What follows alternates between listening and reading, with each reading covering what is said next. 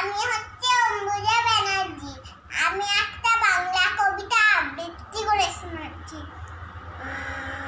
প্রশ্ন, রবীন্দ্রনাথ ঠাকুর, মাগো, আমায় ছুটি দিতে বল। সকাল থেকে পড়েছি যে মেলা। এখন আমি তোমার ঘরে বসে করব শুধু পড়া পড়া তুমি বলছো, দুপুর এখন সবে।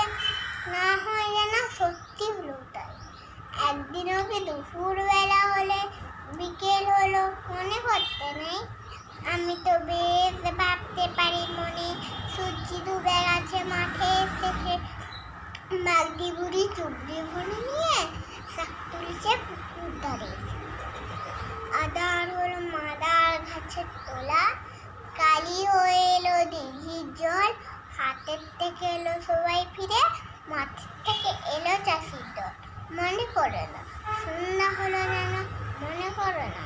উল্লো সাজেরটা তারা রাতের বেলা দুপুর যদি হয়, দুপুর বেলা রাত হবে না থ্যাংক ইউ